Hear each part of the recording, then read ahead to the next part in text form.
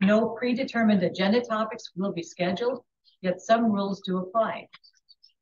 Employee personnel matters are consider considered confidential and therefore should not be brought up. Address the board as a whole. Do not single out individual board members. Though a majority quorum of the board will be present, no official board actions will be taken. No decisions will be made, no votes will be taken, official meeting minutes will not be taken. And so I invite the first speaker up to the podium, please. You just add your name and come on up.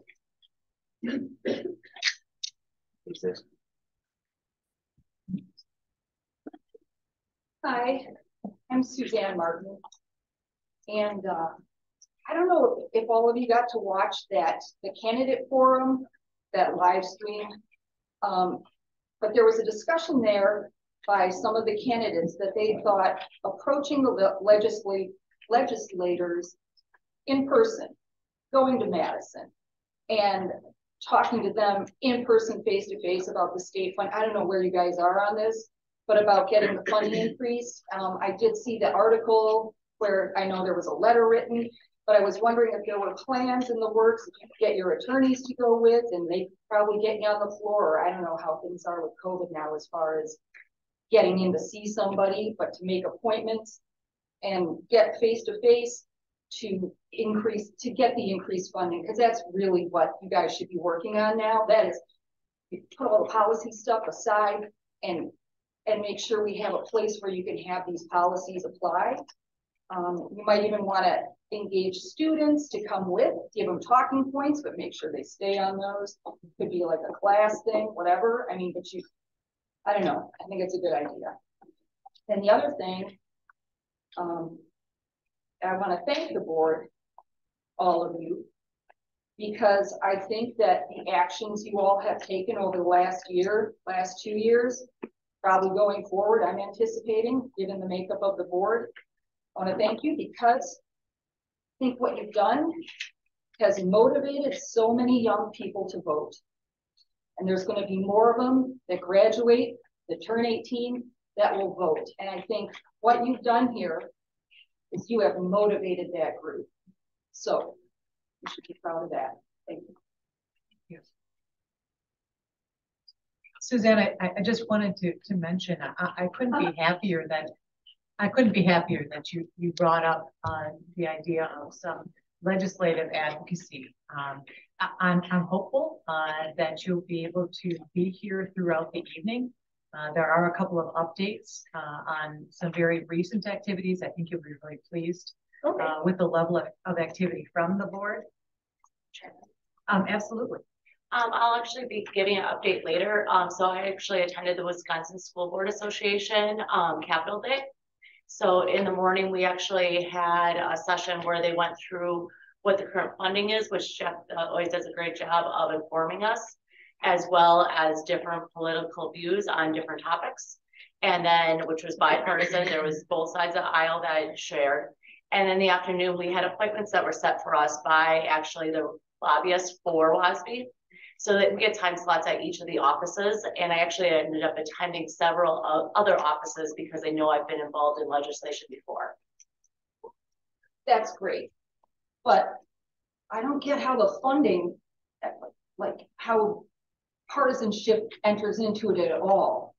Um, for school boards, period. But I mean, for the funding. And that should be the focus. Let's get that going. I really appreciate your efforts too, and I look forward to hearing what you've done. Absolutely. I'm glad I'm glad you'll be here throughout the meeting. There's another update on uh, on joint finance as well, and um, I'm I'm happy to know that members of the public are in tune uh, to uh, some of the financial issues that are uh, that we're facing at school, and I encourage you to share your concerns, your understanding uh, of our financial troubles with other members of the community at this point, it is in fact really what we need. We need uh, a much greater awareness uh, of the funding inequities and, uh, and, the, and the problems on budgeting that we're facing in the school. Thanks for your comments, Suzanne.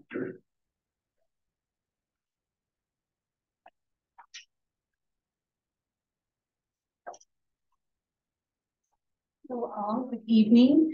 Um, my name is Marie Simonson, and maybe on that funding, uh, just a question because I don't know where this would go.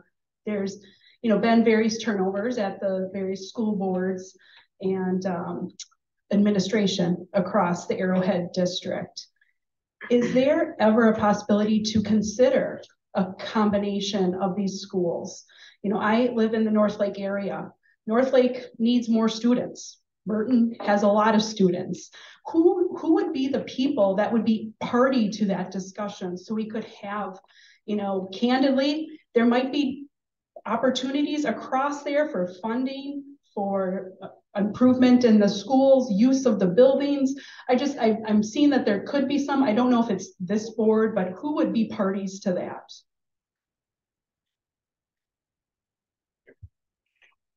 If you want to jump in, So since each of our feeder schools is a district unto itself, that it would literally be the two school boards for the schools that you're considering. There have been efforts along those lines in the distant past that ended badly. And, but I think that we're at least a generation removed from those last efforts. There's been some discussions even within our board about what that path might look like.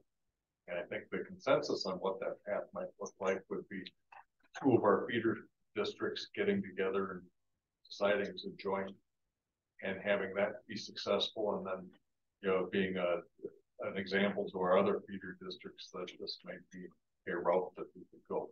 It certainly is the high school district would uh, be receptive to a combination of our feeder districts, but that has to come from them. Okay. Okay. Thank you. All right. Marie, what you're talking about is, is uh, typically called consolidation. Okay. And there have been some discussions even recently uh, that uh, board members from uh, all of the, uh, you know, K through eights and the high school were, um, you know, invited to and, and did participate in. So uh, uh, what what uh, Tim is alluding to is, uh, uh, I think that that groundswell that will come from uh, two of those feeder schools uh, entering into some discussions. So Mhm. Yeah, definitely seems like opportunity. I mean, the referendum didn't pass for North Lake, so there needs to be something that happens in, in that particular district. absolutely. Okay, thank you. Thank you.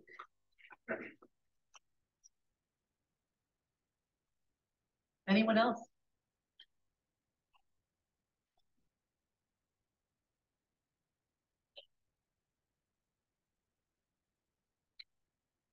Hello, Darcy Sobchak.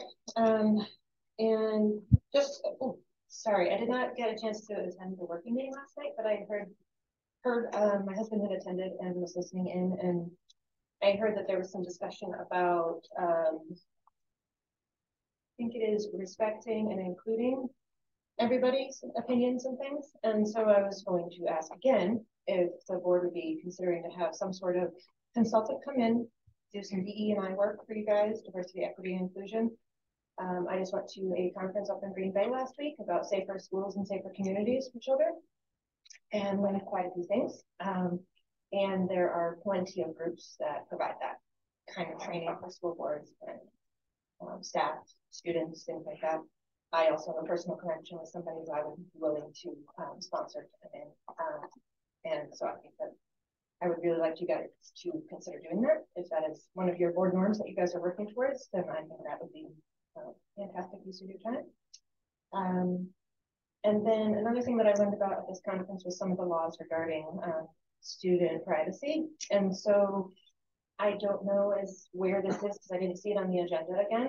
Uh, but for policy for, I don't remember the number, but it is the one where the board was requesting access to Canvas. And I was asking specifically if you guys have reviewed that with lawyers to find out if that meets FERPA requirements or not. If you can access student information, then is that something that board members have a legal right to have? So I just want to make sure that that was going to be addressed or had already been reviewed. I didn't know it has. Yeah, and I'll, I'll just chime in, um, access to student information, whether that was attendance or grades, that would not be the case. So any pupil records that are confidential would not be accessible um, to board members. if that access to Canvas was granted, whether that means for a three-week trial or on a permanent basis. It would be course materials, would be the curricular materials. It wouldn't be students' assignments or grades or attendance. Okay, that's, So good. we would be, yes, thank you. for very addressing legally sound. Okay, great. And Um, for, and for clarity, that, that wasn't the request either, just, just so you understand it. The, the board never requested to have access to. Well, I didn't think you had, I just didn't know if that could be separated Oh, from your sure. request. That's, Gotcha. that's why I just wanted to make sure about that. Okay, Um, thank you. I do think that it's still a, uh, slippery slope, as you might say. Um, I've heard so, several board members call that when you guys were discussing, um, uh, English text to be used. And whether or not you guys, like how much information you guys need. You know, you guys had the English department come in and give you like fantastic presentation about the immense amount of work that goes into selecting the titles that they choose. And, um, and you know, I think that as parents, we all see, you know, we all have access to that. Um, but I don't know as if the board, does that get into interfering with day-to-day operations then? Because that's not something the board is supposed to be doing, correct? So I really think that that policy should be not considered. So that's all. Thank you, Darcy.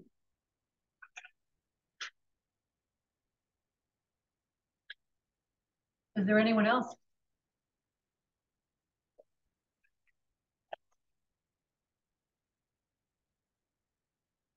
Okay. What did we do?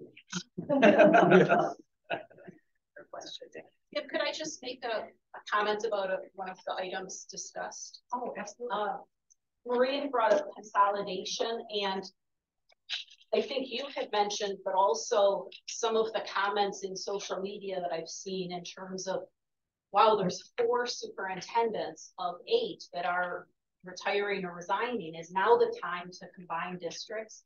And I just want to let people know that is a multi-year process. So I- don't want there to be any confusion that as Kim said, there's been some conversation and I would call it learning about what is consolidation, what's involved with different districts at that learning level.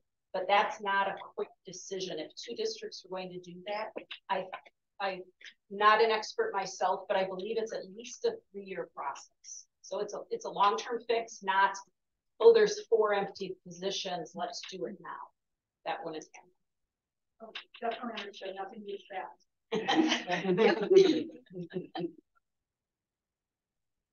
Okay, um, I think we'll close this part of our, uh, session and, uh, we will look to, uh, to hold our, our board meeting at, at seven o'clock. Thanks, everyone.